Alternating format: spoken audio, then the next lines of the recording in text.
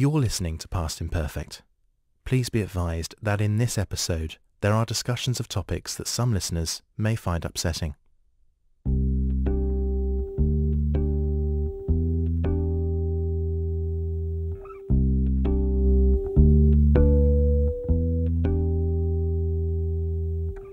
Hello and welcome to Past Imperfect in association with Speakers for Schools, the youth social mobility charity.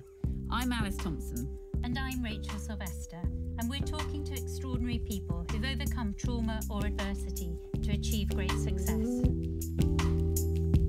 Our guest today was born in 1932 and brought up in Holkham Hall, a beautiful Palladian house in North Norfolk, surrounded by 25,000 acres, the eldest of three daughters of the Earl and Countess of Leicester. The royal family are all over the news after the publication of Prince Harry's memoir and the row over Lady Susan Hussey's comments about race. But our guest's experience of the palace predates all that. Her neighbours were Princess Elizabeth and Princess Margaret, and she was maid of honour at the late Queen's coronation. Her father was an equerry to George VI, her mother, a lady in waiting to the Queen. Her childhood sounds idyllic, playing on sandy beaches, but her sadistic nanny tied her up to the bed every night. And she married a man who took her to a brothel on her honeymoon to teach her about the facts of life. She parted with Mick Jagger and David Bowie on her husband's island of Mustique. Colin Tennant could be violent and cruel as well as charming, saying, I'm going to break you, Anne. But she was stoic. Even when her two eldest children died far too young, one a heroin addict and one of AIDS related diseases. A third son sustained life changing injuries in a car crash. Then, at the age of 87, she wrote her memoirs, Lady in Waiting. The aristocrat told the publishers she hoped to sell half a million copies and go on the Graham Norton show. They politely demurred, but she did both. She's now written a second, Whatever Next Lessons from an Unexpected Life. But she got thousands of letters asking for advice from bereaved parents, gay men, and abused wives. Lady Glenn Connor, thank you so much for joining us on Past Imperfect. So, what's it like to be an agony aunt and a gay icon? Well, I'm absolutely thrilled. I never thought in my wildest dreams that I would, uh, you know, achieve this. Um, I, am so touched too uh, by all the letters I get from all over the world. Uh, the other day, I was doing something for the Prince's Trust, and they said, um, Would you like to know who sponsored you? So I said, Yes, I would. Oh, they said it's the gay community in Milwaukee. so I hardly, I didn't, I had to look at the map to see where Milwaukee was. And one meeting in your flat in Holland Park, and it's surrounded by photographs of all your children and grandchildren and husband. Is this your sanctuary? It is. I don't have a mobile, and the only way you can get in touch with me is by postcards or landline. You have Alexa, don't you? Yeah. Well, yes. My my my um, uh, son-in-law gave me this funny little box one Christmas, and I said, "What on earth is this?" Oh, he said, "It's Alexa, and if you ask her to play music or whatever, she will." And I simply couldn't get over it. I was thrilled, and of course, I treated her very very politely at the beginning. I came up really near her and said, It'd be frightfully kind. Would you be able to play um, La Boheme? Um, and off she went. Now I realise all I have to do is sit at my kitchen table and shout, play this or play that. and she does. And did people ask you for selfies? Yes, quite a lot. Um, when I, uh, um, I, I, what I love doing, which I think was rather surprising to my publishers, is that I've always, right from early age of 16, I've been a travelling salesman. And so I love selling my books. Um, and I, I loved uh, talking, uh, all these talks and all the uh, uh, lovely people who come to listen to me, come and have a chat afterwards. Um, and, you know, I, I, I get quite involved in their lives, actually. And you lived in some ways an incredibly privileged life, but it's also been immensely tough, which I think is why people feel so warmly towards you. Can we take you back to that childhood? Can you just talk a bit about what it was like before the war? Well, before the war was wonderful because um, my father was in the Scots Guards, and uh, so he did move around a bit. Uh, my mother was absolutely wonderful. I adored my mother. Uh, she was fun, she was brave, she was exciting. You know, she rode a Harley Davidson in black leathers, which was quite unusual in those days. And uh, she always was uh, uh climbing trees with us. Um, we were uh, camping on the beach. I, I, we just had great fun. My father wasn't such fun. He was a bit more um, uh, pernickety, really. absolutely insisted on us having our windows wide open all night, uh, and it's jolly cold. Holkham. It was bang by the North Sea, and actually Carey and I shut the windows the minute he'd left the room, uh, and uh, he's very always asking us if we'd be gone to the lavatory properly for some reason. And do you think your family would be disappointed you weren't a boy? Yes, there's a picture of uh, me. My first picture, I was christened at Holkham, and uh, my father is carrying me. He's standing on the steps of the Marble Hall at Holkham. My grandfather's one side, and my great grandfather the other, and they're looking so depressed, uh, gazing at me. How could she possibly be a girl? You know? um, and, and, the eldest. Uh, and there's no uh, there's no sign of my mother. I mean, women were completely wiped out. I mean, in that some sort of society, uh, aristocratic sort of, the men were everything. Right. Um, what virtues were you supposed to have as an aristocratic girl? Did they tell you how to behave? Oh, sorry, I couldn't hear. What virtues were you supposed to have as an aristocratic girl? Did they tell you how to behave? Yeah, well, very much so. I mean, we, we were told that men uh, were the most important, you know. And of course, I didn't have a brother. I had two sisters. And uh, when my, my, my mother had me, she was told better luck next time, and then better luck next time, and finally she gave up. uh, no, I mean, uh, Holkham was uh, completely based uh, on on men. Uh, in a way, from the outside, Holkham looks very masculine. And it was all sort of shooting, and we had the best uh, partridge shoot, you know, in Great Britain. And um, they shot and they fished and um, and then my mother quite often used to arrange for these shooting parties. They were all male, uh, and do the dinner, wonderful uh, uh, dinners they used to have. And then she went back to her sitting room to have something on a tray. I mean, she didn't take part. Actually, she didn't mind too much, especially when the television came, uh, when we had this sort of weeny box in the corner, like a postage stamp. And of course, when we were growing up, we, we joined her in the sitting room. So, what were your memories of being a girl there? What did you do? What were you allowed to do as girls? Uh, Sandringham was only 10 miles away, and uh, I three um, Princess Margaret, the first time I saw her, she was five, I think, or just five. Um, I knew she, I hoped she was going to be my friend because she was, I could see she was quite naughty and fun. And of course, we had absolutely had the best time. The Queen was always looking out for her, you know, um, and uh, it was more, more serious. I mean, she was older. Uh, I remember uh, we went, Princess Margaret and I were on our tricycles whirling around the Marble Hall, and which we weren't meant to do. And down the steps at, at Holkham, the Queen, and I think one of our cousins came, and I remember she said, Margaret, Anne, what are you doing? Very, very naughty of you. And I remember Princess Margaret and I screaming with laughter, of course, and peddling off down the ring. But, but then, then we, used to, we, we used to swim together on the beach in, in the summer, and we, we, I remember digging holes, hoping people might fall in them. I don't think people did actually, but but I, Princess Margaret and I, and then of course the war came, uh, and we, I, I didn't see them until I was you know much older. But anyway, we had this sort of idyllic childhood until the war. And then uh, my father was in the Scots Guards. He was posted to Egypt, and he actually fought uh, uh, during El Alamein.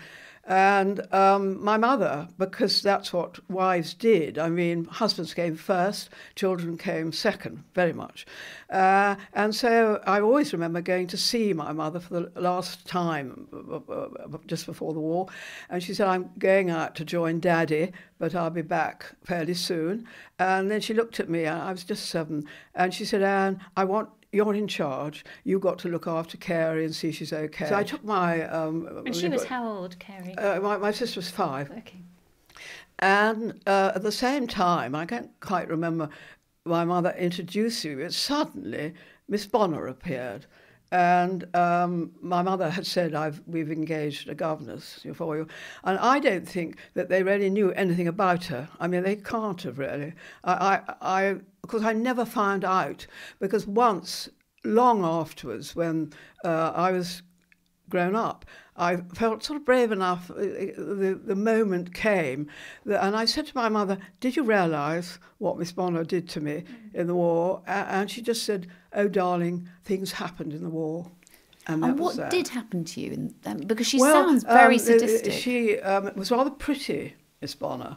Um, and that was confusing too, because you think if somebody's pretty, they're going to be kind. I don't know why you do. You, you at least uh, as a child, you think somebody really wicked and cruel looks like as a witch, you know, and she didn't. She looked really pretty, and I remember Uncle, great Uncle Joe, uh, uh, obviously you know, thought she was wonderful. I remember because mm. he's always dressed in a kilt, and I remember admiring his kilt and all that. Sort and you were in Scotland then, weren't yes, you? Yes, we, we um, were taken. My great aunt Bridget, who was my grandfather's sister, was married was Countess of Airlie, um, married to Joe Airlie, and they had all these six children, the Ogilvies, who, who which were wonderful. They were mostly uh, much older than me. But James, the youngest one, was my sister's age.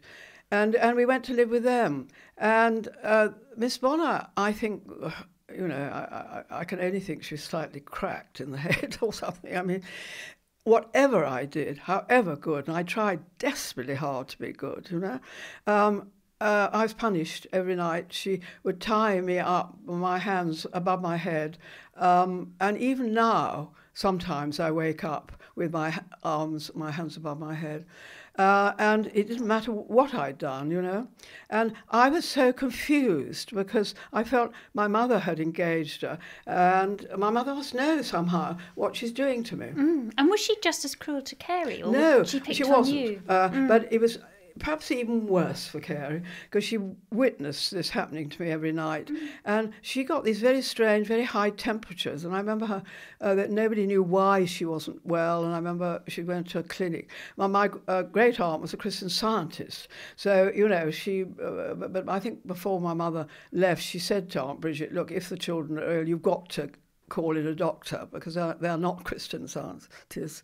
Uh, and um, but then, very luckily, after about a year of this, I, and that's why um, I used to, I, I still do. I love trees because that was the only way I could escape.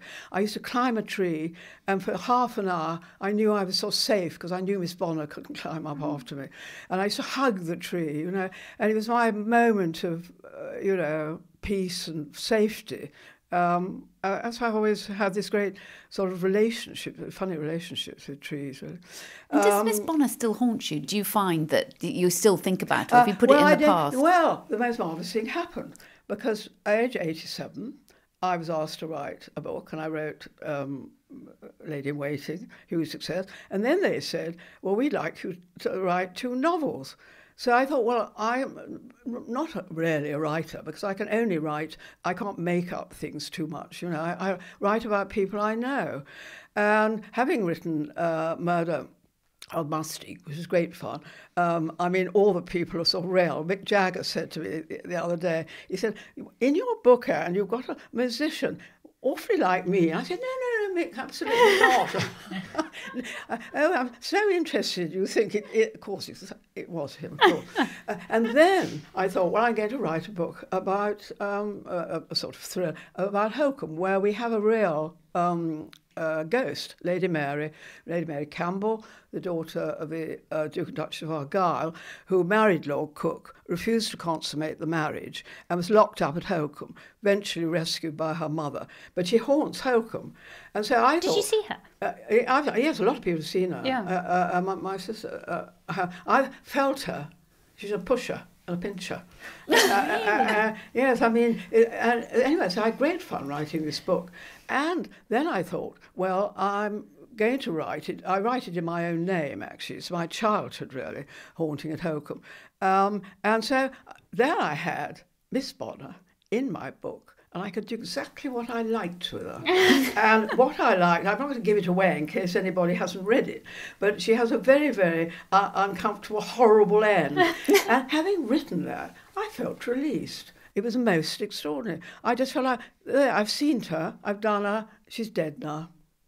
I, I, I, it's very strange that, but that's what happened. And you were saved by another nanny, weren't you? Oh well, then, darling Miss Williams, uh, who had been a nanny to the Duke of um, Wellington's children, uh, quite old, uh, uh, not very uh, good looking. She's very small with a gammy leg and a dripping nose. Anyway, when she arrived, she completely changed uh, Carey's and my life. And I think that uh, Aunt Bridget, uh, the reason Miss Bonner was sacked, actually, but uh, Aunt Bridget was a Christian Scientist, then they, they have a sort of thing about Roman Catholics. Miss Bonner was a Roman Catholic, and she's caught taking me to Mass and also teaching me the Lord's Prayer in French. I can't think why that was considered a sackable offence, but it was. And uh, I think Lizzie, James's nanny, had realised, you know, what was happening. And thank God she was sacked. And along came darling Billy Williams, and um, uh, she was wonderful to me and used to take me on little trips. She said, no, the other two are too young. Well, go exploring. And uh, she took me out and we sort of, she, she was a great botanist. And uh, we used to collect flowers and we used to, you know, go. and then when we moved, when my parents came back, we, uh, my father was based in Cheshire. And the house we were in, when I looked out of the window, there was a little sort of courtyard. And having read The Secret Garden, which is one of my favourite books, um, Billy said, Look, that's going to be our secret garden. We're not going to tell Carey. And it just, she sort of rehabilitated me. She just suddenly made me feel that life in future was going to be all right. And how long were you apart from your parents? Um, three years. And I remember when they came back, uh, so we hid behind Billy. we, we, we were in the hall, and Aunt Bridget said, "Oh, your parents! I could see the car coming up." You know, uh, so and Carey and I sort of shot behind Billy mm. and peered out behind her. You know, uh, and of course, we sort of recognised because we had photographs of them, but physically and sort of, mm. you know, uh, they were complete strangers. And, and had they changed at all? I mean, did your father well, change? Well, I couldn't, you know, after three years, you can't really remember what people were like in a way. Uh, my mother was wonderful. Within a few days, we were absolutely back with her. My father, it took longer. My father was also more reserved and um, never really kissed or hugged as much. Uh, and rather like, I remember that photograph of the Queen at one point shaking Prince Charles's hand when he was three or something, when she came back from a long trip abroad, and that's what my father did. I, I think I think he thought, well, maybe he was right. He didn't perhaps want to bend down because he had a moustache. He might, I, I, you know, I think he thought he might prickle us or something. Okay. But I remember shaking his hand. You know. And what you, effect do you think it had on you being separated from them for so long? Well, I think looking back uh, was that I had to grow up very quickly. Mm. I had to cope with things that children shouldn't have to cope with. And I'm afraid a lot of children do. And the other thing is, uh, when you're a child, you don't say anything. You, you, you think that if you say anything, people won't A, believe you, and the person um, mistreating you will think up something even worse, you know, and punish you. So you don't tell anybody. Um, and I think that nowadays children are encouraged much more to speak, and also the grown ups, I think, are more aware and they look out for abuse. Uh, but in those days, people were, I'm sure, weren't aware at all of what she was doing to me. Did your mother ever know? Did you tell her? Well, this is the thing I did say to her years after. Uh, um, yes, years after, because she never said anything, and I never, I never said anything to her. And, and I did one day. I think we were in the Caribbean, and we each had a rather strong rum punch. You know, that gives you sort of Dutch courage. and I said to Mum, you know, did you realise what she'd done like that? And she didn't really want to, or, or she said to me, darling, things happened in the war. And in a way, afterwards, I felt that that was part of the war, that the children had to suffer that.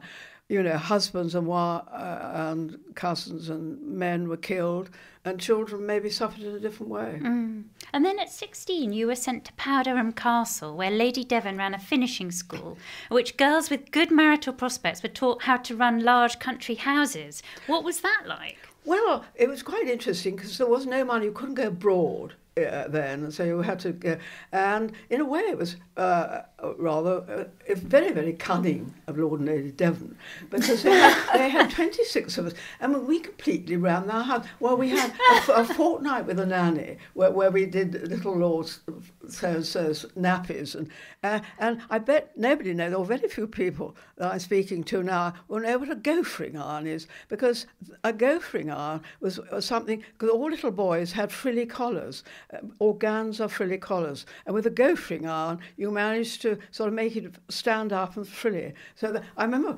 spending hours with this horrible thing. It's rather like what people do their hair with nowadays, twirl their hair. And then we had, which we loved, a fortnight with the butler. That was our great treat. Uh, and, and a scullery maid to the cook. So we learnt exactly how a big house was run. And Lord Devon taught us heraldry, I think. And Lady Devon, f- f- rather funnily, taught us um, how to mend fuses. Because uh, Lady Devon took the role much more of a man. She was much older than her husband, rather small little husband. Anyway, um, we, we uh, I really enjoyed that, and uh, we, we, had. I mean, not. I went with a wonderful friend called Mary Burbick, who really only preferred animals to people, and um, so she mucked out. I had a horse. I, they had stables there. So we each had a sort of horse we had to mark out. She marked out my horse, and I did her sewing because she said she couldn't do sewing. So I used to do her mending because we had to. Uh, in those days, of course, all our clothes are mended. I mean, nowadays people just throw everything away. Uh, but then we had to mend holes in socks, you know, uh, every, everything had to be mended. Anyway, having, having left that, having left Powderham, where I did learn actually about how to run a house, you know, uh, and how to do hospital corners on beds and how to clean properly, you know, and how to polish silver because in those days you polished silver with your thumb. You had a sort of red paste and then you polished, and it was quite agony on the thumb, but the silver was looked marvellous actually afterwards. Mm. Uh, I tried to teach the butlers we had later, where Colin and I were married, were absolutely horrified. there was a certain, uh, my lady, I'm not going to polish the silver with my thumb. so I said, well, I did when I was a child, or when I was young. And then I moved on where somewhere where I learnt more, I suppose, than I'd ever learnt during my whole scholastic career. And it was somewhere called the House of Citizenship. And it's run by a wonderful lady called Miss Neville-Rolfe, and her great great grandmother was Pocahontas because her grandfather gone to America, married Pocahontas, who then Queen Victoria uh, had heard about her and said, "Oh, I want to meet her." So poor Pocahontas was brought back to London. She didn't last long because of the fog and the and the you know she was used to living in. in uh, anyway, so but Miss Devereux uh, taught us citizenship, which meant that we went round uh, the country seeing how the country was run, having learned how stately home should be run. I then went round learning how the country was run. We went to uh, every sort of thing, law courts, hospitals, factories, um, the British Library, every sort of thing like that. Uh, and then we had the alternative of learning about art or typing. Well, I, mum said, my mother said, look, Anne, I think typing would be useful absolutely hopeless because he used to type along to music, uh, and of course I was never, I was, oh, I was always out of sync. In the end, I gave it up and said, um, "I'm going to do, uh, I'm going to do the art course instead." but one of the things I was taught was public speaking, and we used to be sitting there, and Miss Neville-Rolfe said, I was called Anne Coke in those days. That was my. Uh, she said, "Anne Coke." Um, five minutes on the Firth Forth Bridge and you, you, didn't know what it was. It could be anything. Up you got, you thought on your feet, and you talked. And um, that's actually because of my new career, um, it's been invaluable. And did you do any O levels or A levels or oh, exams oh, no, at all? No, we did. We did O level. I got a stink distinction in everyone, which very much surprised me and my parents. And then you were named debutante of the year in 1950, and there was still clothes rationing. So at your coming out dance, you wore a pale green dress made from a parachute. Well, what yes, was I'm, that like? Yes, my mother was simply thrilled because there were still p- coupons, and the only thing we had uh, at Holkham was a, a lot of wonderful champagne because in spite of being a girl, um, uh, my great grandfather did lay down champagne for my coming out. Um, I suppose it probably would have been better champagne if I'd been a boy, but anyway, uh, we were all thrilled. And I had this marvellous dance, and the King and Queen came. It was white tie, medals, Princess Margaret came. And we still had, um, since the war, uh, uh, uh, um, the people who lit up, there was a, a sort of battery, because when the um, German airplanes came across, uh, they lit them up in the sky so they could be shot down. Hopefully. Anyway, they were still in the park. And they said to my, my father, um, Would you like us to light the park up? For your daughter's coming out. We're just about to go, but, but we can stay on for a few days. And that's what happened. The whole park was lit up with coloured lights right up, and the long, long avenue uh, at Holkham was lit up. And my father went up to the top to the Golden Gate to meet the king queen as they arrived right at the and the the, the, the um, drive is nearly two miles long. And so they drove down you know and it was all I mean it was wonderful. The fountain was on. We had Tommy Kinsman which was the, the sort of debutante band which luckily the queen mother absolutely adored. And when she arrived I remember her saying to my mother do you think it'd be possible if I could ask for some tunes? Because generally when Tommy's here, um, I'm allowed to ask for some tunes that I like. So my mother said, of course, ma'am, absolutely. and the Queen Mother, and they have marvellous crinoline, you know, and jewels, and she was always sparkling.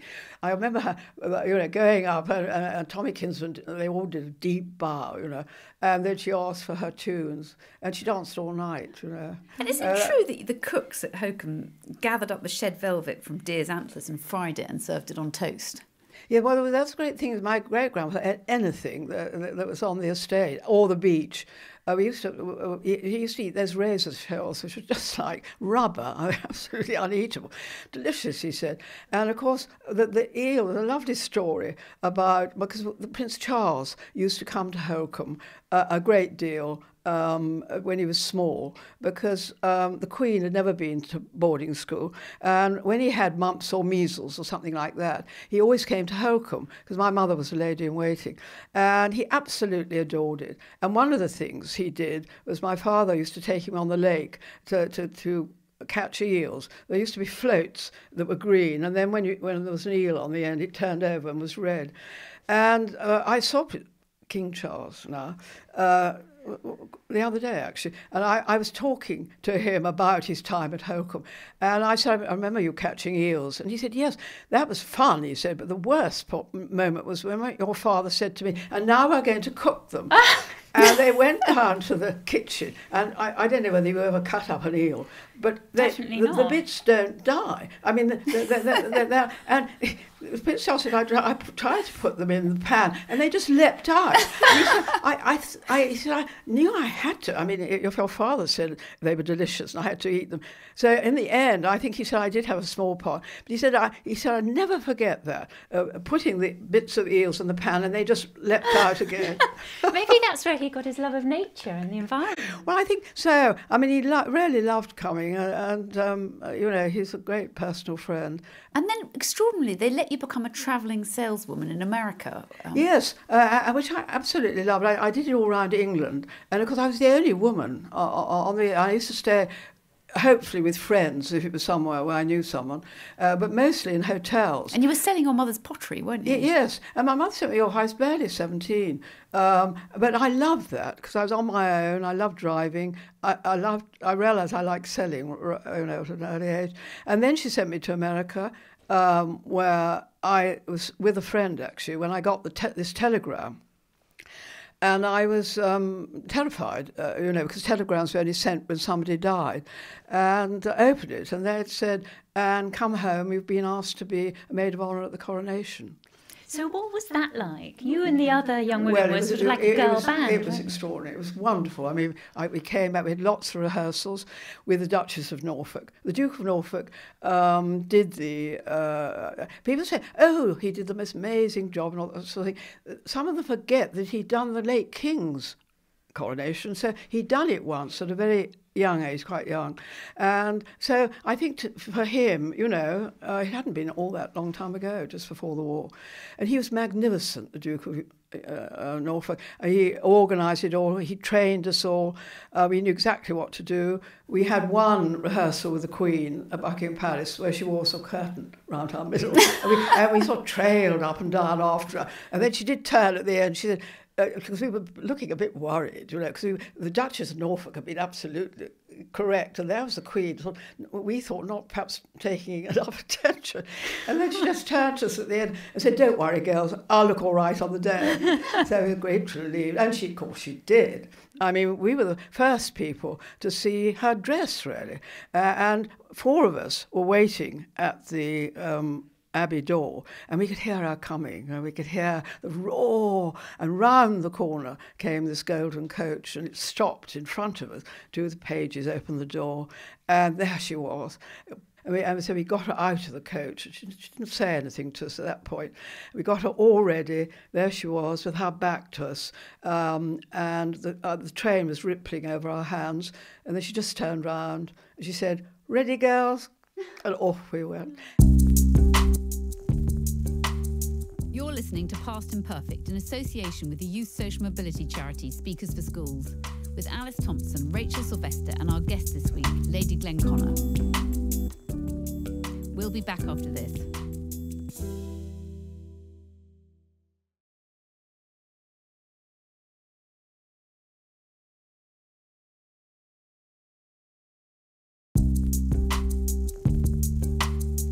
Welcome back to Past Imperfect in association with Speakers for Schools with Alice Thomson, Rachel Sylvester, and our guest, Lady Glenconner.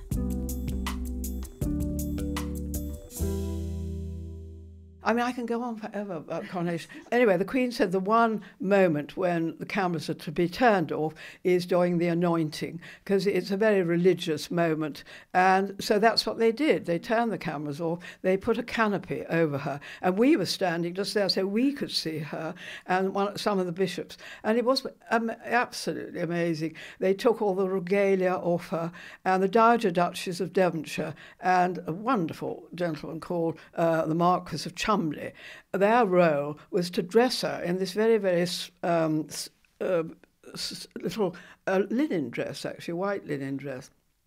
Well, during the rehearsals, when it was actually uh, the Duchess of Norfolk, the Marquis of Cholmondeley could not do up the hooks and eyes at the back of the dress. I mean, he never dressed himself, let alone anybody else. I mean, it, absolutely hopeless. And the Duke of Norfolk got more and more irritated with him and said, Well, look, I can see you absolutely can't do this. Uh, well, put on press studs. And so all you've got to do is press. Well, that's what happened. And of course, there he was pressing into the Queen's back, and the Queen was going back and forth. And afterwards, I said to her, Ma'am, was that okay? And she said, He was not all right, her. And she said, I don't know what the Marquis uh, of Cholmondeley thought he was doing, but he dug his uh, fist in. that was a quite a funny bit. But but then, of course, it was uh, very very moving, and she gave her whole life, you know, to the uh, to Great Britain and the Commonwealth. And then uh, they gave her back all her regalia, and then we went behind the rood screen. And I'd felt rather faint during the service. And luckily, I was at the back, uh, there was another um, maid of honour in front of me, and beside me was Black Rod, a wonderful gentleman dressed in uh, black velvet and satin with a sort of billiard cue he's holding. I don't know what it represented. Uh, definitely not a billiard cue, but I never found out actually. And he saw me swaying slightly. And so he moved in beside me and he put his hand uh, my middle like that and pinned me to the stone pillar at the back, just giving me time to recover, which I did. And so when I got behind the, the rood screen, the Archbishop of Canterbury produced a bottle of brandy from somewhere out of his robes. And he, he did offer it to the Queen, who naturally said no. uh, and then he did turn to me. He said, Anne, I think maybe, because uh, I, I, think they what seen my you know, swaying and green face, I think a little little drop might be. So I had a lovely glug, which made all the difference. I then came back, you know, off we set down the abbey, and it was it was magnificent. And are you looking forward to the King's coronation? Do you think it's going to be very different, more scale? Well, I do. I mean, I, I just read it, what, in the newspapers. I, I, know him quite well over the years, you know, having known him since he was about four. Um, I think it will. It won't be. I, I, in my opinion, there will only ever be one coronation like the Queen. Uh, I, I doubt there will ever be another because you've got Prince William, you've got Prince George, you, you've got men in the future who are going to be king. And um, I mean, Queen Victoria was crowned when she was very young, but you couldn't really call Queen Victoria very beautiful. I mean, and the Queen was so beautiful. And the other thing was that we'd all lived through the war in different ways. We'd all had a pretty awful time.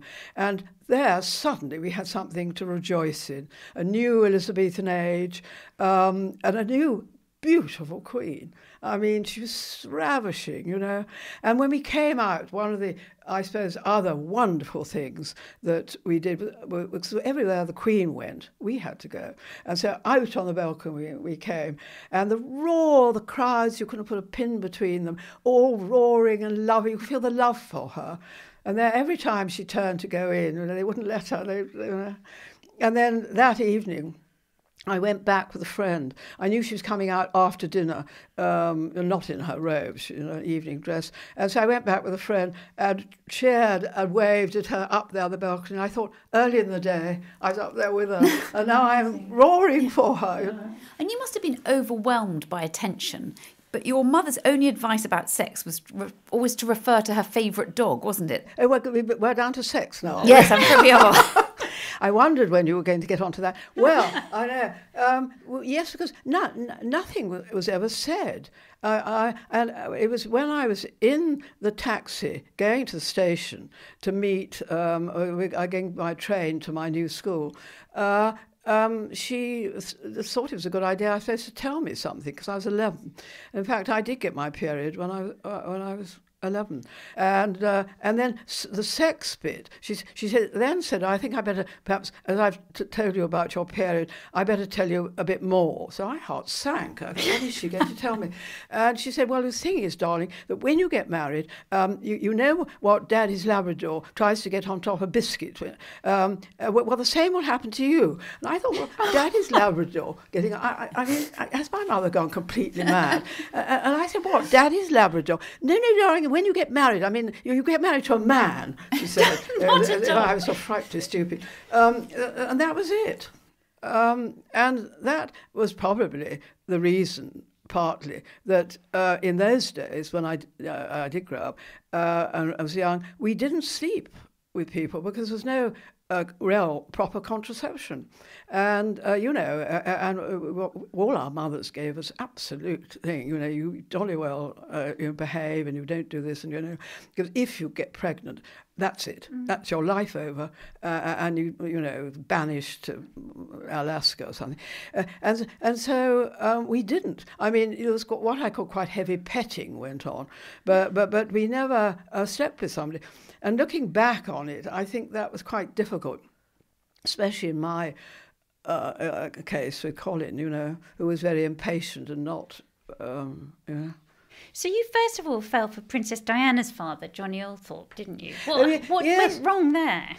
Well, that, that well, I'll tell you about that. And Jack Spencer said, "You can't marry Anne. Anne's got mad blood in her or something." Um, I, I, you know, that was it. Oh, I see. but So he was but banned from marrying you. Yes, uh, and Johnny was not never uh, was brave enough to tell me. And then on the rebound, you fell for Lord um, Glenconner's son and heir, Colin Tennant. What was he like the first time you met him? Well, uh, the thing was that I was used to all my what my fa- who my father chose as people that he sort of thought I might marry. They were sort of hunting, shooting with sort of dripping castles in Scotland and dank rhododendron gardens. And I, suddenly, actually, it was at the Ritz. I was at a. Um, uh, coming out dance or a dance of somebody, and I was standing uh, with I can't remember who it was by the bar waiting for a drink, and Colin and his stepmother were just next door. I, I didn't know either. The person I was with knew Colin's stepmother, and uh, so that's how uh, we were introduced. And uh, of course, I've never met anybody like Colin before. I mean, he's exciting, he was charismatic, he was amazing and uh, funny and full of fizzing with ideas and um, it was lovely. I mean, he, he, I absolutely loved him, and um, I, of course, my father didn't. Uh, I mean, my father was horrified. My, my mother liked him, but but she had witnessed some of his sort of difficult behaviour.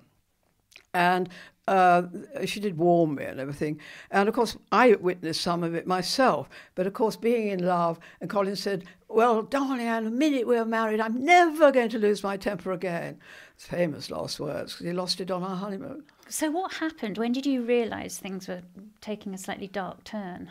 Well, um, I mean, our honeymoon wasn't very easy. I mean, we arrived very late in Paris and um, staying at the Lotti Hotel, went up to our sort of bridal suite, and there were two single beds. Well, Colin completely lost it, raced downstairs with this sort of pathetic little man behind the, the, the, the, desk and said, I, you know, and the man said, well, the only thing I can suggest is, is a double mattress in the basement. If you help me, we, will take it up. This is three o'clock, or nearly three o'clock in the morning. Well, by the time they got it up, everybody had come out of their rooms. It had woken the whole hotel, all looking. They then eventually arrived in our bedroom. They flung this uh, mattress over the bed. The little man saw half underneath it, managed to get out. Colin flung himself on top and went to sleep. And that, and that, that was, I mean, you know, I'm a romantic, uh, in spite of what my mother said. I was thinking it might be quite romantic. Well, of course, it, it improved slightly. But, th- but then he took me, you know, uh, he said he's got a surprise for me. And I thought, you know, dinner at the Ritz, got on my best dress. I remember standing there, in we got to the taxi. And I did think it was a bit odd the way we were going, as I could see the Ritz disappearing out of the back window. And I kept on saying, Where are we going? Oh, it's a surprise, and it's something I'm sure you'll absolutely love. We arrived at this scene, it was a brothel. Went up to this bedroom, and there were two wing-back chairs, which we both sat in. I sat as far back as I could because in front of us on the double bed were two of the most unattractive French people making love.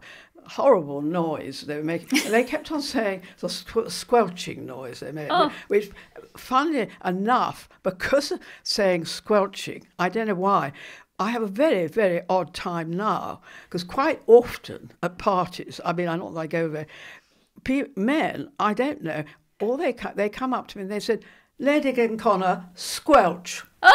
And I never know. Well, luckily I'm 90, so I pretend I haven't heard. But that's a mistake, because if I say excuse me, they then say it louder. So I then, uh, uh actually, I, I, just winkle off as quickly as I can, oh. so try not. But anyway, that, that's an aside. But um, So what uh, did he think he was doing? No, and of course they said, because they, uh, would you like to join in? And I've been very, very polite. And I said, it's frightfully, with my eyes shut, it's frightfully kind of you, but no thank you. and, and, thank God, eventually they, they left. And I did say to Colin, but why? Uh, and it, he just said, I thought it would excite you. And I thought, no, no. So and said, then well, you had an extraordinary incident, didn't you, with a donkey? That was the one that everyone couldn't quite get over. The extraordinary oh, one that well, no then, one well, then believe. he took me back. Um, I, I, I, sort of thought, well, so after the um, uh, session in the brothel, I thought I'm never going to Paris again. Uh, and then anyway, Colin persuaded me. He wanted to buy me something, and he said, "Come on, you know." And then he said, We're going to the theatre. And I thought, I don't know, some sort of Shakespeare. We went to this ghastly place, uh, which was again uh, uh, this man making love to a dog. And there were other things too, which I won't go into. But uh, uh I said, Well, that's that. Uh, I, Who was it? Did you say? I, well. I have been back to Paris with, somebody, with, with, with another friend of mine. Did you say it was a man with a donkey? Yes. Oh my. And what was the worst thing that Colin ever did to you? Because he could be incredibly kind and charismatic, but he could also be very cruel, couldn't he? Well, I, in my new book, Whatever Next, um, when I wrote um, Lady in Waiting, I so hinted at it. And because I got uh, one of the marvellous things, really, about uh, my book were, was the reaction and the letters, because it's been translated, I think, into about 12 different languages uh, uh from all over the world. Uh, uh, you know, some about, a lot of gay people wrote to me because of writing about my darling Henry having AIDS and the way Henry told me he was gay and all that. And then um, and people have been abused too. Um, and you, you know, I, I, was amazed by the sort of interest in my life actually, and that's why I thought, well, um, you know, my, my, publishers were very keen too uh, that I should write something else, and. It, it, uh, I thought this time, I'm 90, I asked the children, I had a long talk with the children, um, that I am going to write about the abuse I suffered most of my married life. And the interesting thing was that um, when I was talking to the children, a lot of stories, they didn't know the full extent of what I'd been through. And I didn't know the full extent of what they had been through. And I, I, it was really sad. But uh, And anyway, all these stories came out. And by the end of it, we've talked about it rather like you know, killing off Miss Bonner in Haunting at Holkham. It, it's all come out. We all feel so much better for it, and so much. It's taken a long time. Mm. I only wish I'd been able to do it before. You know. But he was quite violent to you, wasn't he? Well, this time in particular, it was a girl's birthday. We're having uh, a birthday t- uh, tea uh, or late tea, I think it was, at Basil's Bar. One or two other children. Uh, yes, yes. Uh, and um, he had some clients with him. and he came over to the birthday, and they went back. Then he said, Anne, will you, will you come and meet them, you know? Uh, uh, which I did, but, but I then said, look, I you know, want to go back to the girls. I went back, and suddenly there was Colin. I could see these white, and he just got hold of my arm. He said, come with me. And afterwards, I, I, I, I was telling May, uh, I was talking to my daughter May, and she and I said, "Do you remember, Dad?" She said, "Yes, I do. I think they were about seven or something." And she said, "I said to Barbara, our nanny, is Mummy all right? What's Daddy going to do to her?" Uh, and Barbara said, "Oh no, no, don't worry about Mummy. She'll be okay." But uh, May said she was worried about me. Um, and anyway, Connie took this. This was so it's premeditated. Took me into the car. It, it took about uh, ten minutes to drive up to our house didn't speak to me at all. He got out, and he always had this shark's bone walking stick. And he suddenly, uh, as I turned, he hit me at the back of the head, uh, uh, and, and, then I fell, and he hit and hit and hit me.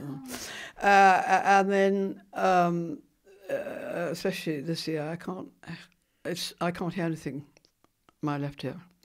And uh, I then crawled into my bedroom. I remember being able to put put the chair at the door, and all night I was far too frightened to come out of the room because um, I thought he might be out there. Uh, and my, my bedroom was on the ground floor in the main house, and Barbara and the girls were in sort of chalets in the garden. And in the morning, I, craw- I got the window open and I got out of the window because I thought he might still be. I crawled up to her chalet and said, Barbara, I think I need a doctor. And uh, which she got, you know, and she's wonderful, Barbara. Um, I covered in blood and bruises and all that. I thought he was going to kill me. And um, anyway, the doctor came. He didn't ask me, he knew. I mean, the doctor knew. The trouble was in Mustique that Colin owned the island. He employed everybody on the island. And that was what was so difficult um, because in a way the West Indies was the worst possible place for Colin to be because he was incredibly generous, incredibly thought, you know, uh, uh, would do anything for anybody in the village, but, but he was a bit violent and they took it and nothing was said. I mean, we had our own policeman, but he's employed by Colin. Mm. So, Did you confront him at all?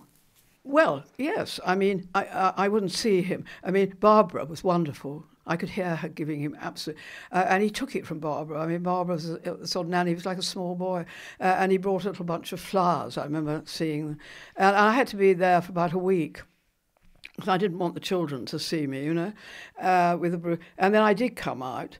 Um, and the other thing, talking about men, was that after beating me nearly to death. He then went back to Basil's Bar, and I'm not going to say who it was, but he talked to somebody, uh, uh, you know, that we all knew who he employed and everything like that, and said, I've just given Anne a thrashing. And this man did nothing. I mean, he could have gone to Barbara and said, I think Lady Anne might need you. Anything. Yeah. Nothing absolute closed shop. Uh, and, and, well, men are like that. Mm. Uh, uh, they don't want to. I suppose he was frightened, Colin might. I don't know what happened nothing. And then when I eventually came out, a very well known lady on the island came up to me and said, Oh, have you been a naughty girl? And that was the moment. I don't know. I, I always remember that. And I thought, how could somebody say mm. that?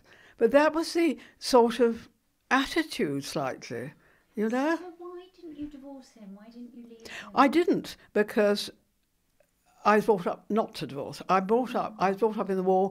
I think Miss Bonner ill-treating me. I got through a whole year of being tied up to the bed.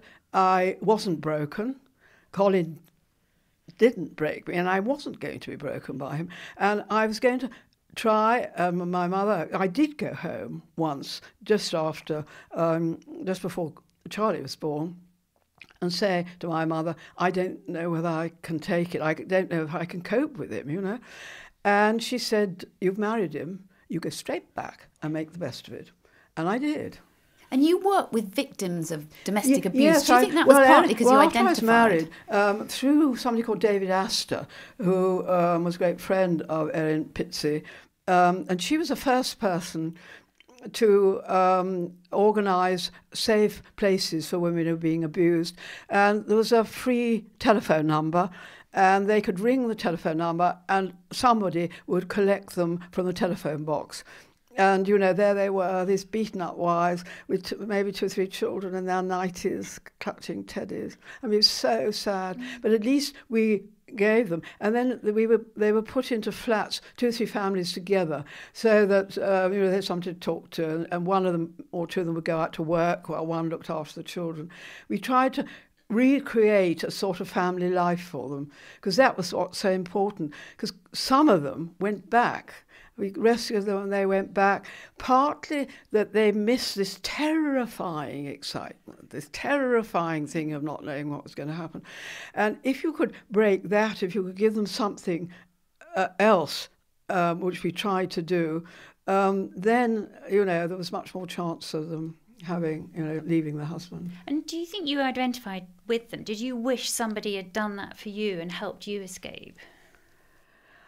Yes, I mean, what, we had were wonderful friends. I mean, I had wonderful friends, but but we tried always to make a joke of it, and that's what I did in my first book. You, you, you try and make excuses, and you try and see the funny side. You try anything not to think about the really dark side, and because um, not that I think any of my friends, they had different troubles. I had one great, great friend whose husband was a gamble, gambler and gambled everything away. He had huge estates, gambled everything away. I mean, that was awful. That's abuse in a different way, I think. Um, but, um, you know, we, we had friends. And then, of course, I wouldn't in any way encourage anybody to stay in a sort of marriage like mine. But I was very fortunate, really, in the end, because Colin went out to the West Indies. He spent a lot of time out there. We weren't together the whole time. Uh, my father, uh, at that point, I had my house in Norfolk. Um, and I did always we we telephoned each other every other day. We talked. He came back, I, and I nursed him. He had cancer right at the end, and I went nursed him, and that was what the most um, something that I cling on to. And then he said to me, "And it wasn't all bad," and I said, "No, Colin, it wasn't all bad." When you think about your life, do you think that suffering has made you more resilient in a way? Well, I think that the way I was brought up, my mother, um, my faith, you know, um, and it's perhaps just in me a bit, you know. I think when you've been through the fiery furnace, like losing my darling boys and Christopher having his accident, you know, I nursed him. He was in a coma for uh, over four months, and I wasn't going to lose him.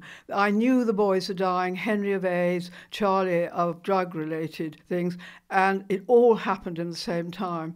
And I, um, luckily, I have a faith, um, and I used it. I prayed a lot. I had very stern talks with God. I said, I know you're taking two of my sons. You're not taking Christopher. And I nursed Christopher. Um, uh, we, we, luckily, my nanny Barbara, who went on to look after Prince William and Harry, she just left that job and rang me up and said, Lady Anne, I'd love to give you a year helping you look after Christopher. And uh, we did, and we did interesting things um, with him. That, uh, uh, that, in fact, Barbara and I wrote a. Um, uh, a essay for the Lancet about how, as lay people, we thought you should treat people in comas. We nursed him on the floor so that I could sit behind him and he lay on my, so he could feel my heart. Um, he couldn't swallow, and the doctor said there's no um, hope really. I mean, if he can't swallow, he'll be in a vegetative state. And one day, Barbara brought a baby's bottle to the hospital, and the nurse said, "What are you doing, Miss Barnes, with the bottle?" And she said, um, "Christopher was her first baby. Barbara never looked after a baby, and Christopher was her first." And she said, "Can I just try it?" Because Christopher's very greedy little baby, and she put the teat between his lips and so squeezed it, and he started to suck and he swallowed. Uh, and all that, and then we also, with another doctor who I met, um, who told me about this coma kit. Uh, um, that he tried on his own son who'd had an accident. And it's stimulating the five senses, but you have to do it quarter of an hour in every hour. And because of all my friends, we had a wonderful um, uh, thing on, and, and they all used to help me. And it was absolutely, it was extraordinary. And that's what gave me such joy and spirit, was all these friends coming to help me when I needed them. And of course, I've also been able to help other friends. A great friend of mine, his daughter died of a, drug overdose. Um, and uh, I think when you have friends like that, it gives you so much energy. Um, I looked after um, Christopher for five years before he was able to, um, you know, uh, live on his own. And when I got him back home, it was tough love because the, the, the, the, council, they all came, you know, round, do you want this put in? Do you want a lift and a hoist and a thing? I said, no, I want absolutely nothing. Christopher is going to get well and he's going to do it under his own steam with me and that was it. And he went up. I mean, looking back, I don't think I don't know how I did it, but he, he went up and downstairs on his bottom for ages because he couldn't. And um, he did it. Mm-hmm. He's been married twice. His first, by his first wife, he's had two lovely daughters, uh, and they both got firsts at King's. and then, and then he married lovely Joanna, who's now by PA and looks after me, and you know, what a lovely end. What would you like to have said to your seven year old self when you were up in Scotland and you were having a really difficult time with your nanny? No, I would have said, stick it out and life is going to get better. Lady Glenconner, thank you so much for joining us on Past Imperfect. Well, thank you for having me. It's been really great. Thank you.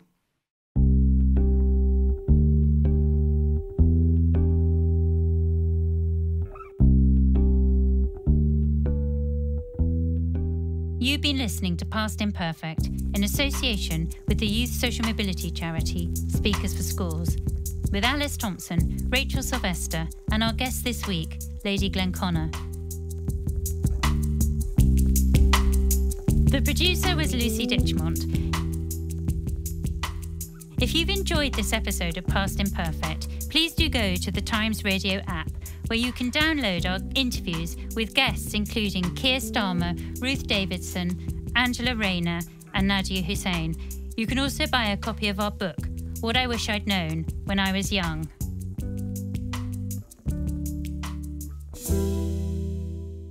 Thank you for listening to Past Imperfect. If you've been affected by any of the issues raised in this episode or others in the series, please go to our podcast page or website, where there are links to charities and organisations who are there to help.